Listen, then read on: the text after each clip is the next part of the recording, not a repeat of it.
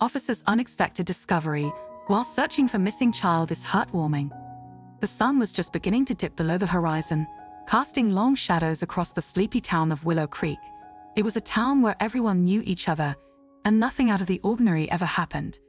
But on this particular evening, the peace of Willow Creek was shattered by the sudden disappearance of a little girl. Five-year-old Stella Grayson was last seen playing in her front yard. Her mother, Ruby, had only turned her back for a moment to answer a phone call. When she returned, Stella was gone. Panic set in almost immediately. The town quickly mobilized, neighbors pouring out of their homes to search the little girl who had seemingly vanished into thin air. Officer Jason Bryant was on his usual evening patrol and he received the call. Jason was a veteran officer, well respected in the community, known for his calm demeanor and dedication to his job. He had been with the Willow Creek Police Department for over 20 years and had seen his fair share of crises. But nothing prepared him for the gut-wrenching fear that gripped him when he heard that Stella was missing. Stella was the same age as Jason's own daughter, Emily. The thought of something happening to her was unbearable, and he knew that Ruby and her husband, Dominic, must be going through hell. As a father himself, Jason couldn't imagine the horror of not knowing where his child was or if she was safe. He arrived at the Grayson house within minutes, where Ruby stood in the driveway, her face pale and eyes wide with fear. Dominic was on his knees in the front yard, his hands running through the grass as if he might somehow find his daughter hidden there. The sight broke Jason's heart. What happened? Jason asked, trying to keep his voice steady as he approached Ruby. I don't know, Ruby sobbed. She was right here. I only turned away for a second, and then she was gone. Jason took a deep breath, trying to focus. We're going to find her, he said with as much reassurance as he could muster. I need you to tell me everything you remember. Did you see anyone around? Did Stella say anything before she disappeared? Ruby shook her head, tears streaming down her face. No, nothing. She was just playing with her dolls, and then she was gone. Jason turned to Dominic, who looked up at him with a haunted expression. We've searched everywhere, Dominic said, his voice breaking. The yard, the house, the woods behind the house. She's not here. Jason's mind raced as he considered the possibilities. Stella could have wandered off, but she was a smart and cautious child. The idea that she might have been taken was too terrible to contemplate but Jason knew he had to consider every option. He quickly radioed for backup and began organizing search teams. The entire town was on high alert, and within minutes, dozens of volunteers had gathered, ready to help comb through the woods, the fields, and every corner of Willow Creek. As the search began, the air was thick with tension. The sun had fully set, leaving the town in darkness, illuminated only by the flashlights and the beams of the search vehicles. Every rustle of leaves, every snap of a twig, made hearts race with both hope and fear. Jason led a group of volunteers into the dense woods behind the Grayson house, his flashlight cutting through the darkness. The woods were eerily quiet, the only sound the crunch of leaves underfoot. Jason's heart pounded in his chest as he called out Stella's name, praying for some sign that she was nearby. Stella, Stella, it's Officer Stevens. If you can hear me, call out but there was no response. The woods seemed to swallow his voice, and Jason felt a knot of dread tighten in his stomach. He had been on countless searches before, but this felt different. The stakes were higher, the fear more palpable. As they ventured deeper into the woods, Jason's flashlight caught something unusual, a small, shiny object lying in the underbrush. He knelt down and picked it up, his heart skipping a beat when he realized what it was. A pink hair clip, the same one Stella had been wearing that afternoon. Over here, Jason called to the other volunteers, his voice urgent. I found something. The others rushed over, and Jason held up the hair clip for them to see. This is Stella's, he said, his voice tense. She's been here. The discovery renewed everyone's determination, and they pushed forward, moving deeper into the woods. But as the hours passed with no sign of Stella, hope began to wane, the darkness was oppressive, and the cold night air chilled them to the bone. Jason refused to give up. He couldn't, not when a little girl's life was at stake. But as the night dragged on, doubt began to creep in. What if they couldn't find her? What if something terrible had happened? Just as Jason was beginning to lose hope, he heard it. A faint sound, almost imperceptible over the rustling of the leaves. It was a soft, high-pitched whimper, like a child crying. Did you hear that? Jason whispered to the volunteers around him. They nodded, their expressions tense. The sound had come from up ahead, deeper into the woods. Jason motioned for them to follow him, his heart racing as they moved toward the source of the sound. The whimpering grew louder as they approached a small clearing, and then, in the beam of Jason's flashlight, they saw her. Stella was huddled at the base of a large oak tree, her arms wrapped tightly around her knees, her face buried in her hands. She was trembling, her tiny frame shaking with fear and cold. Stella, Jason called out, rushing toward her. At the sound of his voice, Stella looked up, her tear-streaked face filled with relief. Officer Stevens, she cried, reaching out to him. Jason scooped her up in his arms, holding her close as she sobbed into his shoulder. It's okay, sweetheart, he whispered, his own voice thick with emotion. You're safe now. We're going to take you home. As he held her, Jason felt a wave of overwhelming relief. They had found her. Stella was safe, but as he carried her back through the woods, his mind was already racing with questions. How she ended up here? Why had she wandered so far from home? And then as he looked down at the tear-streaked face of the little girl in his arms, he noticed something that sent a chill down his spine. Stella's hands were clutching something, something small and delicate, wrapped in a piece of cloth. It was too dark to see what it was, but Jason had a feeling that whatever Stella was holding, it was important. He didn't ask her about it right then. She was too shaken, too exhausted, but he knew that when the time was right, he would have to find out what Stella had discovered in the woods that night. Because whatever it was, it held the key to the mystery of her disappearance. The following morning, Willow Creek was abuzz with the news of Stella's safe return. The town, which had been on edge all night, breathed a collective sigh of relief. Stella's parents, Ruby and Dominic, were overwhelmed with gratitude, and the town's residents expressed their support and love for the family in every way they could. But even as the town celebrated, Jason couldn't shake the nagging feeling that something was amiss. He had seen the way Stella clung to that small wrapped object in her hands, and he couldn't help but wonder what it was and why it was so important to her. After ensuring that Stella was safe and settled at home, Jason decided it was time to find out what she had discovered in the woods. He visited the Mitchells' house later that day, bringing along a small stuffed bear for Stella, a token of comfort. When he arrived, Ruby welcomed him with a tired but grateful smile. Thank you, Jason, she said, her voice full of emotion. We don't know how to thank you enough for bringing our baby back. Jason nodded, his heart heavy with the weight of what might have been. I'm just glad she's safe, he said. How is she doing? She's still a bit shaken, Ruby admitted, glancing toward the living room where Stella was curled up on the couch. But she's getting better. She hasn't let go of that little bundle she found in the woods. I'm not sure what it is, but it seems to mean a lot to her. Jason's curiosity was piqued. Do you mind if I talk to her for a bit? He'd asked. Of course, Ruby said, stepping aside to let him into the living room. Jason approached Stella slowly, not wanting to startle her. She looked up as he came closer, her big blue eyes still wide with the remnants of fear. But when she saw who it was, she managed a small smile. Hi, Officer Stevens, she said softly. Hey, sweetheart, Jason replied, sitting down on the edge of the couch. I brought you a little friend. He held out the stuffed bear, and Stella's face lit up. Thank you, she said, hugging the bear tightly. Jason watched her for a moment, then gently asked, Stella, can you tell me about what you found in the woods last night? Stella's expression grew serious, and she glanced down at the small bundle in her lap. She hesitated for a moment, then slowly unwrapped the cloth to reveal what she had been holding onto so tightly. It was a small, delicate locket, its silver surface tarnished with age. Inside the locket was a faded photograph of a woman holding a baby. The image was old and worn, but the love between the mother and child was evident. Jason's breath caught in his throat as he realized the significance of the locket. Where did you find this, Stella? He asked her gently.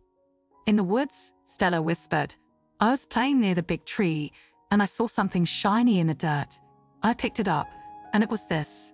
I didn't want to leave it behind, so I kept it with me. Jason felt a chill run down his spine, this locket was more than just a piece of jewelry. It was a keepsake, a precious memento that had been lost for years. But the question remained, Who did it belong to? And how had it ended up in the woods? Stella, you did the right thing by keeping it safe, Jason said, his voice full of reassurance. This locket is very special, and I'm going to find out who it belongs to. Do you think you can let me hold on to it for a little while? Stella hesitated, clearly reluctant to part with the locket. But after a moment, she nodded and handed it to Jason. Okay, she said softly, but please make sure it gets back to the right person. I promise, Jason said, taking the locket and carefully wrapping it in the cloth again. I'll do everything I can to find out where this belongs. As Jason left the Grayson house, the weight of the mystery pressed heavily on his mind. The locket was clearly important, but how had it ended up buried in the woods? And more importantly, who was the woman in the photograph, and what connection did she have to Willow Creek? Jason knew that solving this mystery wouldn't be easy, but he was determined to find answers. The first step was to identify the woman in the photograph. He decided to start by visiting the town's historical society hoping that they might have records or photographs that could shed light on the locket's origin. The Historical Society was housed in a small brick building near the town square. It was run by an elderly woman named Mrs. Porter, who had lived in Willow Creek her entire life. If anyone knew about the town's history, it was her. Jason entered the building, the bell above the door jingling softly as he stepped inside. Mrs. Porter looked up from her desk, her eyes lighting up when she saw him. Jason Bryant she exclaimed with a warm smile. What brings you here today? I need your help with something, Mrs. Porter, Jason said, holding up the locket. Do you recognize this? Mrs. Porter took the locket from him, her expression turning thoughtful as she examined it closely. She opened it to look at the photograph inside, and a look of recognition crossed her face. This locket, it belonged to Elizabeth Foster, she said softly. She was a young woman who lived here in Willow Creek many years ago. She was a lovely girl, but her life was filled with tragedy. What happened to her? Jason asked, his curiosity growing. Mrs. Porter sighed, her eyes filled with sorrow as she recalled the story. Elizabeth was engaged to a man named William, but just before they were to be married, he was called away to serve in the war. He never returned, and Elizabeth was heartbroken. She was carrying their child at the time, but after the news of William's death, she fell into a deep depression. Not long after the baby was born, Elizabeth disappeared. Some say she ran away, unable to bear the pain of losing William. Others believe she may have taken her own life. Jason's heart etched as he listened to the story. And the baby? What happened to the child? No one knows for sure, Mrs. Porter replied. Some say the baby was given up for adoption, while others believe the child may have died shortly after Elizabeth disappeared. It's one of the great mysteries of Willow Creek Jason stared at the locket, the weight of the past pressing down on him. This piece of jewelry, lost in the woods for so many years, had once belonged to a woman who had known unimaginable pain and loss. But why had it resurfaced now, and what connection did it have to Stella's disappearance? As Jason pondered these questions, a thought occurred to him. If the locket had belonged to Elizabeth Foster, could it be possible that Stella had been drawn to it somehow? Children were often more attuned to things that adults couldn't see or understand. Could there be a deeper connection between Stella and the lost soul of Elizabeth? Determined to find answers, Jason decided to continue his investigation. He needed to find out more about Elizabeth's life and the circumstances surrounding her disappearance. Perhaps, buried in the past, there was a clue that would help him understand why the locket had resurfaced now and what it meant for Stella. Over the next few days, Jason delved deeper into the history of Elizabeth Foster. He visited the town archives, combed through old newspaper articles, and spoke with anyone who might have known her or her family. The more he learned, the more he realized just how tragic her story had been. Elizabeth had grown up in a modest home near the edge of town. Her father had been a respected businessman, but after his death, the family had fallen on hard times. Elizabeth's mother had done her best to keep the family together, but it was clear that life had not been easy for them. When Elizabeth met William, it had been love at first sight. The two were inseparable, and their engagement had been the talk of the town. But when William was called away to serve in a war, everything changed. Elizabeth's letters to him had gone unanswered, and when word came that he had been killed in action, her world fell apart. The town had rallied around her, offering support and comfort, but nothing could ease the pain of losing the man she loved. When her child was born, Elizabeth had tried to find solace in motherhood, but the weight of her grief was too much to bear. One day, she simply disappeared. Some believed she had left town to start a new life somewhere else, while others feared the worst. But no one knew for sure what had happened to Elizabeth or her baby. As Jason pieced together the fragments of Elizabeth's life, he couldn't shake the feeling that her story was somehow connected to Stella's discovery of the locket. But how? And why now, after all these years? One evening, as Jason was going over his notes, he received a call from Ruby. Her voice was filled with urgency, and Jason's heart skipped a beat as he listened. Jason, it's Stella, Ruby said, her voice trembling. She's been talking about a lady in the woods. She says the lady is sad, lost, and she keeps asking if she can go back and help her. Jason's blood ran cold. A lady in the woods? He repeated, trying to keep his voice steady. Did Stella say anything else about her? She said the lady is looking for something, or someone. Ruby replied, her voice filled with worry. Jason, I'm scared. What if there's more to this than we realized? Jason knew that children often had vivid imaginations, but something about Stella's description sent a chill down his spine. He couldn't ignore the possibility that there was more to this story than met the eye. I'm coming over, Jason said, grabbing his keys. We need to talk to Stella and find out what she knows. When Jason arrived at the Grayson house, he found Stella sitting on the couch, clutching her stuffed bear. Her eyes were wide with a mixture of fear and curiosity, and Jason could tell that she was still trying to make sense of what she had experienced. Hi, Stella, Jason said gently as he sat down next to her. Can you tell me about the lady in the woods? Stella hesitated, glancing at her parents before looking back at Jason.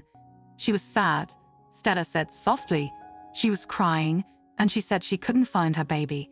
She asked me to help her, but I got scared and ran away. Jason's heart ached for the little girl, who had been thrust into a situation far beyond her understanding.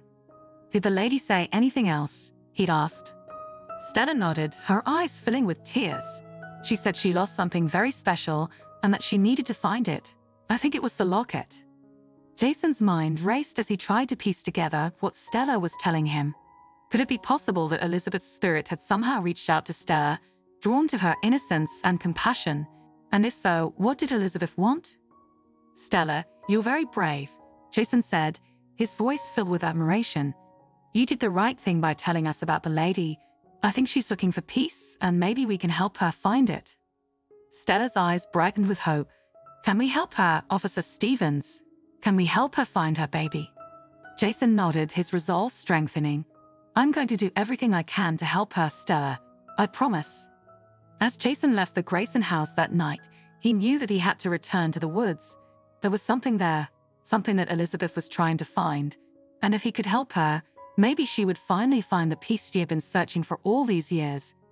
The next morning, Jason returned to the woods with a renewed sense of purpose. He was determined to find whatever it was that Elizabeth was searching for, and he was willing to follow any lead, no matter how small. He retraced Stella's steps, starting from the spot where she had found the locket. The woods were still and quiet, the only sound the rustling of leaves underfoot.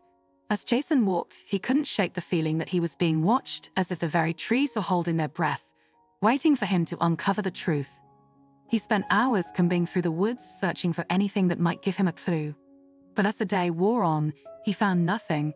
Frustration began to creep in, and Jason wondered if he was on a wild goose chase. But just as he was about to give up, he noticed something strange. At the base of an old oak tree, the same tree where Stella had been found, the earth looked disturbed as if someone had recently dug there. Jason's heart raced as he knelt down to examine the spot more closely. The soil was loose, and as he dug with his hands, he uncovered a small wooden box, its surface warm with age.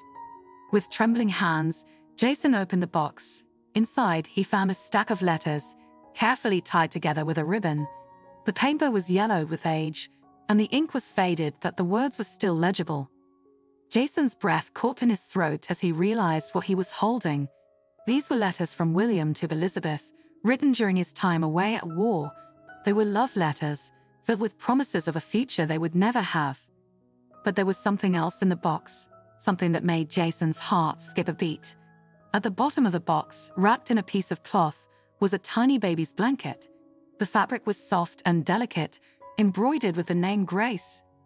Tears filled Jason's eyes as he held the blanket in his hands. This was what Elizabeth had been searching for, the last connection she had to her lost child. The realization hit him like a wave, and Jason knew that he had to do something to honor Elizabeth's memory. He carefully reburied the box at the base of the tree, knowing that it was where it belonged, and then with a heavy heart, he left the woods determined to bring closure to the story of Elizabeth Foster. That evening, Jason gathered the town's residents together at the old oak tree. He had told them about the locket, the letters, and the baby's blanket, and the story of Elizabeth Foster had touched everyone's hearts. As the sun set, casting a warm golden light over the woods, the townspeople stood in a circle around the tree. Jason held the locket in his hand, feeling the weight of the past and the hope for the future.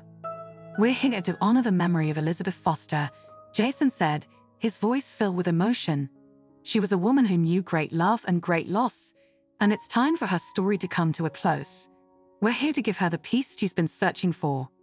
With that, Jason placed the locket at the base of the tree, beside the box of letters and the baby's blanket. As he did, a gentle breeze rustled through the leaves, as if the very spirit of Elizabeth was thanking them for helping her find peace. The townspeople bowed their heads in silence, each of them offering their own prayers for Elizabeth and her lost child. The air was filled with a sense of closure, and Jason felt a deep sense of satisfaction knowing that he had done the right thing. As the townspeople began to leave, Jason stayed behind, watching the last rays of sunlight filter through the trees. He felt a sense of peace that he hadn't felt in a long time, knowing that he had helped a lost soul find her way home. And as he turned to leave, he heard a soft whisper in the wind, a voice that sounded like Elizabeth's, filled with gratitude and love. Thank you. Jason smiled, feeling the warmth of her words in his heart. He knew that Elizabeth and her child were finally together at peace in the afterlife. As he walked back through the woods, the moon rising high in the sky, Jason felt a sense of fulfillment. The mystery had been solved, the past had been honored, and the town of Willow Creek had come together to offer one of its own the peace she deserved. And in the end, it was a reminder to everyone that love, even in its most tragic forms, could transcend time and space bringing people together in ways they never could have imagined. In the months that followed, the story of Elizabeth Foster became a part of Willow Creek's history. The old oak tree where the locket, letters, and blanket had been laid to rest became a place of quiet reflection for the townspeople, a symbol of love, loss, and the power of forgiveness. Stir, who had been at the heart of the mystery, grew up knowing that she had played a part in helping a lost soul find peace. She often visited the tree with her family, laying flowers at its base and remembering the story that had brought their town together. As for Jason, he continued his work as a police officer, but he carried the memory of Elizabeth and her child with him always. It reminded him that even in the darkest of times, there was always hope, and that sometimes the most important thing we could do was to help others find their way. And so the story of Elizabeth Foster lived on, a legacy of love that would be remembered for generations to come a testament to the idea that even in the face of tragedy, there was always a chance for healing and redemption. For in the end, love was the greatest mystery of all, and it was a mystery that would continue to touch the hearts of those who heard it, bringing them closer to one another and to the things that mattered most.